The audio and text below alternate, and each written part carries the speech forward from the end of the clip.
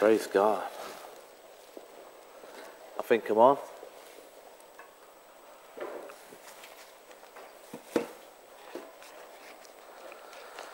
Hallelujah. It's a good time to be alive, isn't it? Amen. Wow. Hallelujah. What a great time of worship. Worthy is the Lamb. Amen. He is worthy of all our praise. Praise Jesus. Hallelujah.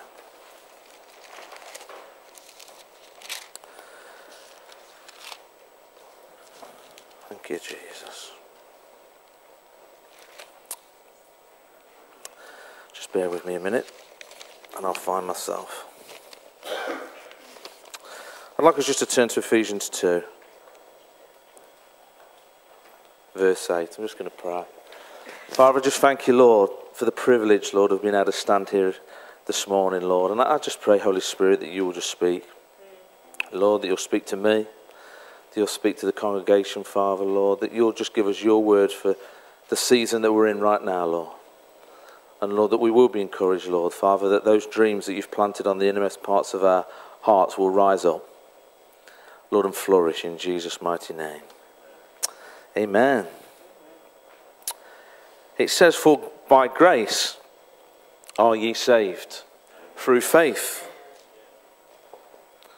And that not of yourselves, it is the gift of God. Not of works, lest any man should boast. For we are his workmanship, created in Christ Jesus unto good works, which God hath before ordained that we should walk in them. So God has ordained us and he has created us for good works. We can't boast that it's anything of ourselves and our own strength. It is all about Jesus. I just want us to turn to Matthew verse 5, chapter 13. It says there, and it'll say it in red in most Bibles, and that means that Jesus is speaking. And when Jesus speaks, it's worth listening to. It says, You are the salt of the earth. But if the salt has lost its savour, wherewith shall it be salted? It is then for good for nothing but is cast out and trodden under foot of men. You are the light of the world. A city that is set on a hill cannot be hid. Neither do men light a candle and put it under a bushel, but on a candlestick, and they giveth, it giveth light unto all that are in the house. Let your light so shine before men that you may, they may see your good works and glorify your Father which is in heaven. I've taken a prop from home today. I'm hoping Mandy won't uh, realise. It's quite a clever candle. We don't have naked flames in my house anymore. anymore for certain reasons. So, with the magic of technology, I can switch that candle on. It's quite effective and it's real wax as well and uh, it's safe. Praise God.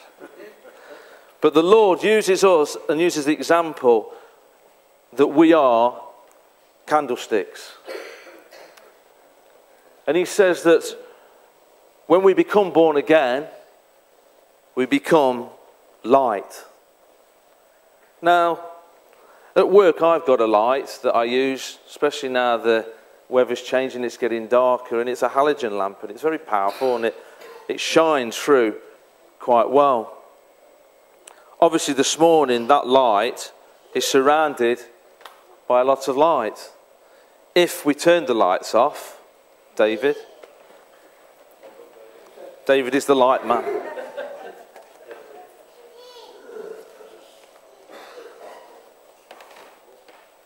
that little light becomes brighter, doesn't it? We can see that light more in the darkness now the when all the lights on. So you can put the lights back on, David, or I won't be able to read. but the Lord says that we are a candlestick.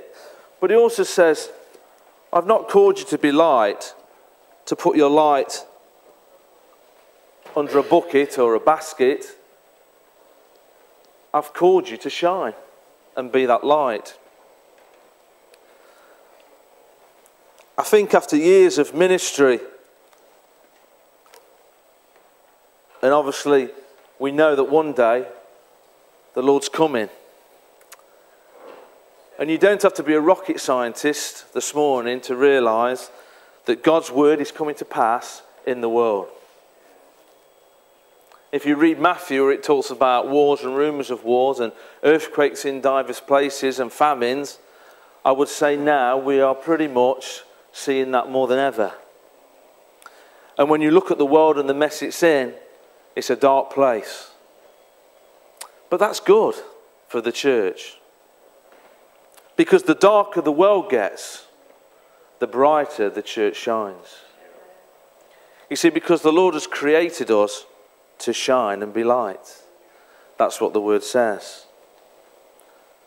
A lot of times we look at different people in the church or different ministries and we would probably consider, wow, you know, they're amazing, they're fantastic. But the Lord just says, shine. And that candle gives off light and it makes a way. And if you was in a really dark cave, sometimes we got to uh, Matlock, up to Abraham's Heights, if anyone's been there, and you can go underground into the caves and they do a bit of a show and it's pitch black and they show you how the miners used to mine underground from a little candlestick and you wouldn't believe what these people worked in. But when you turn all the lights off in a really dark place and you just put that one little candle in, it shone enough for them to be able to work and mine underground. So we have an important part to play in the body of Christ, don't we? As much in the church as outside the church. You see, the body of Christ is important that we all function and we move in a body because we are a team of people in the body of Christ with different gifts and different callings. But every single one of us make an impact on the body of Christ. And from the church and the body of Christ, we make an impact in the world. And you know, the Lord doesn't talk about being the greatest impactor or the lesser impact, He just talks about making an impact, touching lives, sharing the love of God. If you go to John 6, verse 1 to 14, you haven't got to turn to it, it talks about Jesus uh, and speaking to the 5,000. And whenever you hear of anybody preach and minister, it's always about the wonderful miracle that Christ did with the five loaves and the two fishes and fed 5,000 people. Not very often do you hear the, the people minister about the young boy whose loaves and fish they were. And I was just thinking about this young boy, and I was just thinking, you know, I know what I'm like when I'm hungry. My wife always says to me, caring is sharing. And sometimes when I'm hungry, I don't want to share. I don't know if you've ever been out for a meal uh, and you go to a restaurant, uh, we'll eat uh, a meal and then uh, it'll come to sweet time or pudding, as some people want to call it. And uh, my favourite uh, pudding is trifle. I know you can't tell, but I do like a trifle. And I'll say to Mandy, Are you having a sweet love? And she'll go, Oh no. I couldn't possibly eat anything else after that meal. Makes me feel a little bit guilty, but not enough that I will not have that trifle. so the waitress will come and I'll order the trifle, and the trifle will come and it'll land on the table. And then all of a sudden, a little voice will chirp up to the waitress Have you got another spoon? At that stage, I look at Mandy in a little bit of disgust and say, You're having a laugh. You're not having any of my trifle. If you want a sweet, I'll get you your own trifle. Waitress, forget that second spoon. I've done that a couple of times. Now, I'm not mean. I'm quite willing to buy her another trifle. But then Mandy will say, Yes, but I can't manage a whole trifle to myself. Hey, this cake away, put it in a box, take it home. But, you know, my trifle means a lot to me. Let's go back to the young boy. They've been sitting there all day, it says. It's warm, the evenings come on, and all of a sudden, out of the 5,000, there's not many bright people there. You'd think if he was going to listen to everybody, if we was going on to Cannock Chase and it was a bring and share, you'd bring a sausage roll, wouldn't you? Or you'd bring something with you to eat because it's going to be a long day. There's not a McDonald's around the corner. There's not a Tesco Express. You're sitting in there listening to Jesus speak. Evening's coming and they're all getting a little bit peckish. Somebody's obviously told them that the disciples were going to provide lunch, but obviously no one had fed that through to the disciples, and now they were coming to Jesus. This young boy sitting there with his five loaves and his two fishes, and the disciples walk around and see this. This young boy had a decision to make. He could have, like me, gone, You're having a laugh. my mum's made me these, and they're my favourite. I like these fish and I like these rolls. Go and get your own food. I'm having these, they're mine. Whether in them times they could have done anything about it, I don't know. They could have probably given the lad an asbo and told him, sorry, tough, we're having him anyway. There's 5,000 here and there's one of you. Do you want to fight for it? but this young man, as far as we know, willingly gave up his lunch. Probably thinking, this is going to be interesting. At the most, this will probably feed 10 people if we take little pieces. But there's no way on this planet it's going to feed 5,000. So this could be a laugh. Let's see what the disciples are going to do with this. So he obviously hands it over to them, not really probably understanding the impact of this one unselfish decision that he was going to make was going to feed 5,000 people. No, we know Almighty God. He didn't need the little boy, really, or the young lad, because he could have called manna from heaven if need be. They'd done this before in the Old Testament, why not now? But Jesus knew that this young man was there. They, they used that opportunity, and the young man was willing to be used and to give unselfishly of what he got. And out of that, we saw a great reward. And I think there's an awesome story in that, that through one unselfish act of giving, touched thousands. He probably thought it was quite a small thing. But what a change it would have made to them people. I wonder when they got the 12 baskets left over, whether they came over to the boy and said, Have some of these baskets and take it home to your family. He would have received more back than he'd ever given out. And God does that with us as people. You know, you can never ever outgive God. You'll never ever be able to outgive Him because as much as you pour out, He'll always give you back a hundredfold. If you're giving it out of the right heart and the right motive, God rewards us. You may be in a position in the church, in a different area of the church, and I've ministered this before. The Lord doesn't grade us in rank, we are the church and we all have a part to play. We all impact in different areas of our life and in different areas of the church. And every area is important as the other. Praise God. In church, as a body of people, really, we should never really be hankering after position and thinking that we've achieved something greater. The heart of a child of God is to serve and to see God touch people's lives.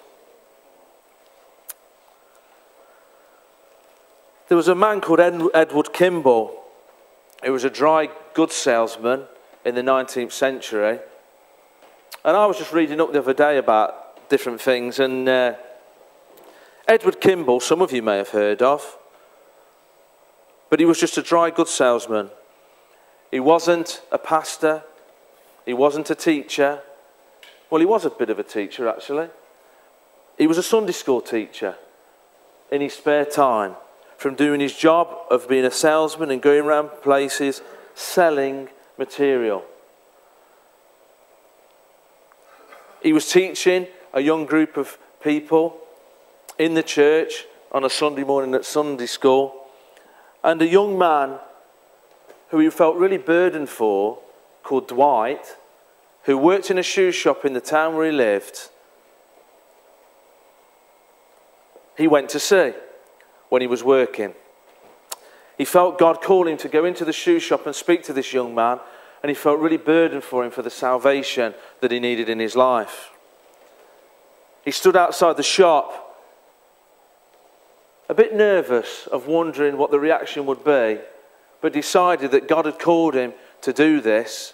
And in a small way, he felt that he'd got to go in and speak to this young man and tell him about Christ. How much he loved him and how much God wanted Dwight to love him back.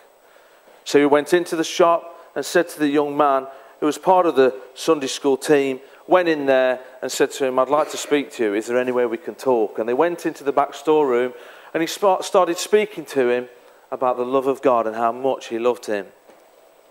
That day, Dwight gave his life to Christ. We know from history that Dwight actually was more known as D.L. Moody, one of the greatest evangelists in the 19th century that travelled from America to the UK preaching the gospel and saw thousands come to Christ. We hear a lot about D.L. Moody, but probably don't hear about the Edward Kimball. But that young, one man's obedience to God in going into a shoe shop in his work time as a salesman to share the gospel and the love of Christ changed the young man's life to the fact that he would become one of the greatest evangelists in the 19th century. How awesome is that? That's impacting somebody's life. Henrietta Mears in 1928, God had placed on her heart for education. She was a uh, the daughter of a Methodist. We can't hold that against her. And she felt really a desire to be educated in the things of God and to go further on, but suffered in her life with ill health and was told that if she kept studying as she was studying, that she would lose her sight at the age of 30 years old. Her reaction to that was, I would rather be educated and blind than blind and uneducated. I would rather be able to share what I've learned than not be able to share. She went to a Sunday school in Hollywood, part of a Presbyterian church, with a Sunday school of 400 people, children, and shared what she'd been taught and educated and preached and shared the life of Christ in that place. The Sunday school grew from 400 to nearly 6,000, the network of Sunday schools that she'd started. One of the children that was in that Sunday school was Billy Graham. She impacted his life that much that he gave his life to Christ.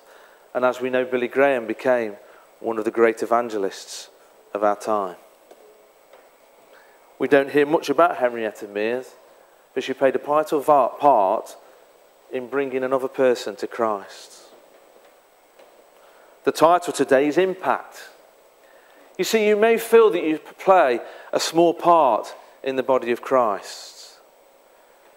You may feel that you play a small part outside. When you're out at work and when you're doing your daily chores. But you see, if you get one candle and you touch it against a candle that's not lit, it will light. We are the life of Christ, and He lives on the inside of us. So, that life that now lives in us can now live in others. You see, it's not about coming to church on a Sunday. And we walk through the double doors. I switch my candle on. Hallelujah. Worthy is the Lamb. It's time to go now. Dinner time. Brilliant. Oh, we have got a bit of a prayer meeting on a Tuesday. Hang on a minute. It's Friday now. It's time to go down the pub. That's not what it's about. It's lit and shining continually because it's the life of God. And the Lord wants us to be bold because He's given us the power of God on the inside of us. I'm going to share a little testimony. A couple of weeks ago, I can't think of the guy's name now, that preached, and he preached about not blaming ourselves. Things don't happen to us because we've been bad. Knowing the Father's heart, that was it, and how much the Father loves us. And uh, just a really encouraging word. Because there's a lot of people that feel that their Christian walk is dependent on how good they are. And if we do something wrong, we're going to get punished and then something goes wrong. Perhaps you've got a worse, burst water pipe in your house, or you've got a puncture on the way to work in the morning, and you're sitting in your car going, Oh, Lord, what have I done? Why has this happened to me? No, you've just driven over a nail. But people still beat themselves up over that. They don't know the Father's love. We went to see Mandy's mum after church that Sunday because she'd had a fall. This is her third fall in six months. And when she falls, bless her, she doesn't do it half heartedly. She hits the ground. Black up face, bruised, really, you know. And Mandy's going, What on earth is up with you? Why do you keep falling over? You know. And uh, bless her, she's 77. She's not a young spring chicken. And she'd been to the hospital all day on the Saturday. And. Uh, they'd done x-rays and all these different things and they said to her, look, you've broke your wrist. It's going to have to go into plaster. She said, look, I've got arthritis in my fingers and that. I can't have it in a plaster. I need a splint or something. The pain will be agonising. So they said, well, look, we'll put it in a sprint for now. You need to come back on the Tuesday and you need to, we need to re-x-ray and we need to look what we can do because if it's bad enough, you know, you may have to still have it in a plaster we went round on the Sunday and, and we were just talking and chatting, and she was just sharing about, you know, she says, oh, I've just been asking the Lord why this keeps happening. Have I done something wrong? And it just stirred something in my heart after the ministry that we'd heard that Sunday morning. And I said, The Lord says if we ask for bread, He won't give us a stone. If our Heavenly Father knows how to give us good gifts, how much more so? If a normal Father knows how to give us good gifts, how much more so our Heavenly Father? I said, The Lord hasn't afflicted you because you've done something wrong. You've fallen over. It's as simple as that. But I said, I really feel that we need to pray for a miracle. And I got Mandy and we knelt down. And as I was praying, the scripture kept going through my head about Jesus when he went to the cross, and it speaks in the Old Testament that there will be no bones broken. So I prayed for her and I said, Lord, I just declare we want a miracle over this wrist. I just ask that you will knit it together right now in the name of Jesus Christ and that no bone will be broken. Just bring it together and knit it. And we just pray for healing for her. We got a text on the Tuesday morning. She'd gone to hospital. They re x rayed it, and there was no sign of a break. That is the power of God. She wasn't in church. We didn't sing four songs to bring the Holy Spirit down.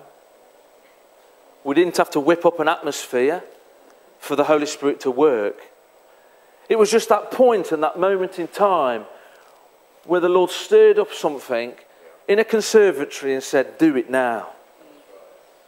And the Lord did it. There was no congregation looking on, shouting, Hallelujah, praise the Lord. There was just me, Mandy, and her mom. And God moved, and I came out, and when I heard the testimony, I was like, wow, man, the amount of people in church I prayed for. But God says that was the appointment, that was the time, that was the time to make the impact. It was that revelation that the Heavenly Father loves her that much, that that was what He was going to do. So it's not what about what we do in church on a Sunday. It's what we do when we're outside of church. You see, because the life of Christ is on the inside of us. And God has called us to impact a world and impact a nation. And you know, it doesn't matter how small or insignificant you think that thing is that you're doing, it impacts. We've got committed people that serve in champions, that teach our young children out the back there. I think we're up to four teachers now. We could do with six. But they willingly, diligently teach in there on a rota every Sunday and they teach our children. One of them children may be the next Billy Graham. One of them children may be the new D.L. Moody. One of them children might be the contact point for God to bring revival into Rugeley. We don't know. But God does. But through their faithfulness in teaching, and I honour them, every single one of them, in the name of Jesus, for their diligence in what they do, they're touching a generation. You know, it was awesome last Sunday to see a generation of young people leading us and ministering and speaking, and you could see a generation of church rising up. Jane and Michael doing an awesome job with the young people, the, the, the generation up from our children. Putting hours and hours serving and impacting people's lives that probably, when I look at some of them, I, have been here on meetings, sometimes I see them come through them doors and I think, wow, man. I wonder sometimes whether I would have the patience or whether I'd want to flick their ears. But they've had the patience and the diligence to serve and input into these young people's lives. They could be the next evangelist that will touch nations. They could be the next missionary that will change nations around the world. God knows. Steve with the men's work, Dawn with the women's work. All the different things that go on. And you may think, sometimes you may feel really tired. Sometimes you may think, why do I bother? You may lead the worship team and you may sing there and you may be up the front sometimes just worshiping God and then you look out and you see people's faces. And you think, why? Why do I come every Friday and practice? And sometimes, like Will says, you need to put a coat hanger in your face. and smile. But you know, but they're doing it unto God. And whatever we do is unto Christ. And whatever we do impacts and changes people's lives. Sometimes we may never even know the impact when we've bumped into somebody on the street and either prayed for them or spoke to them. We may never ever see them again. But on that day when we stand before God, and he says, Well done, good and faithful servant. Here's your reward. You see, all the things we've done, God's going to reward you for being diligent and serving. And we're all going to be rewarded for what we've done served in Christ. So this morning, I encourage you that whatever part you play, be encouraged that God is saying, Well done, good and faithful servant. Well done. It blessed me to hear Sam's testimony the other day when he was sharing about people that had impacted his life. And he was thanking them. At that time, I dare say they probably, people never realised how much they were impacting him. But they impacted his life. So this morning, wherever you are, you need to realise that you are vital to this world and to the church. You're vital no matter what part you play.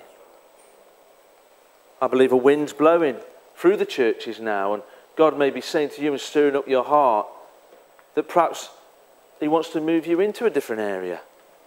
He may want you to actually, you perhaps you're doing nothing, and He wants you to do something else. Perhaps you have got a heart to speak in champions. Perhaps you've got a heart to help with youth. Perhaps you've got a heart to help well, with the men or the ladies. Ask the Lord. Ask Him in the body where He wants you to serve. And when you go out every day to your job or when you're in the town, ask the Lord, Lord, today, who do you want me to touch? Who do you want me to shine to? Who would you like me to speak to, Lord? Because this morning, Lord, I'm not too busy, I'm available for you to move through. And I want to shine like you say to shine. I don't want to hide my light. I want people to declare and see that you are God. Amen. I just want to show a short video and then I'm going to wind up. If you can just flick the lights for me again, David, thank you. Keep you fit, mate.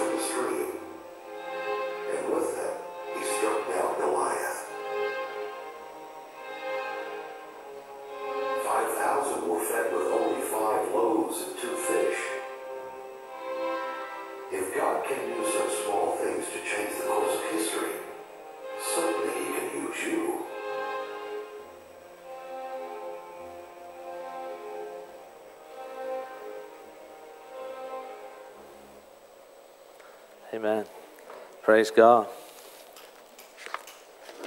Hallelujah.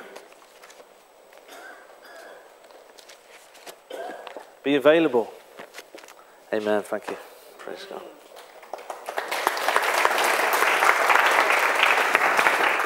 home, just ask someone to pray with you if you just feel that need. And believe God will touch your heart and touch your life. Praise Him. Amen. Wonderful. Thank you.